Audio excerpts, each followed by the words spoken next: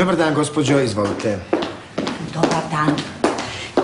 Ja sam Sibila Smežuranić. Šta?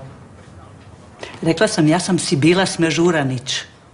A, znači, vi ste bili Smežuranč, e, a kad ste prestali biti? Da pače, ja jesam Smežuranić. Pa rekla sam vam malo prije, ja sam Sibila Smežuranić. Ti si bila Smežuranč. Kad si prestala bit? Šta kad sam prestala bit? Pa to, Smežuranić. Slušajte, pojma nemam što mi hoćete reći. Ja imam dogovor sa doktorom Kunićem, molim vas, nazovite ga. Doktor Kunić, molim vas ovdje je gospođa... Ne- Molim vas, bez imena. S kojom ima dogovor? Gospođa bez imena koja ima s vama dogovor. U redu. E, Veljko. A da, ovdje ova gospođa... Sibila Smežuranić. Halo, znam, rekla si mi pet puta da si bila. Šta me briga bila, di si bila? Doktore.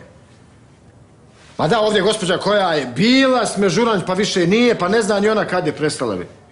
Da. Dobro, ambulantu, dobro. Kaže doktor da idete kod njega u ambulantu. A gdje je to? Kroz vrata prva desna. Hvala lijepo, gospodine. Šemsudin. Bio i ostao Šemsudin. Evo i žena. Sad si bila, sutra nisi bila, a onda opet jesam, pa onda nisam. Odluči se više, majku.